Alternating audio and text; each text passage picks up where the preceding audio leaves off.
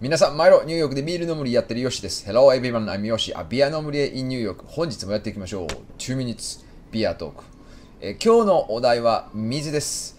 えビールの原料で95%近くを占めるのが水です。なので、ビール作りにおいてですね、水はとても重要です。しかしですね、ビールの専門家の人たちですら、あまり水のことについてはコメントしません。えー僕がこちらで飲んだ、まあ、ニューヨークに来ている日本のクラフトビールの中で、ああ、これ美味しい水を使ってるなと感じることができたのは、八海山酒造さんが作っているライディーンピルスナーを飲んだ時に、ビール、ビールを飲んでるにもかかわらず美味しい水だなと感じることができました。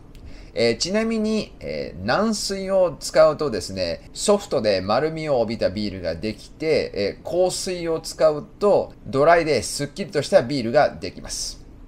それではまた。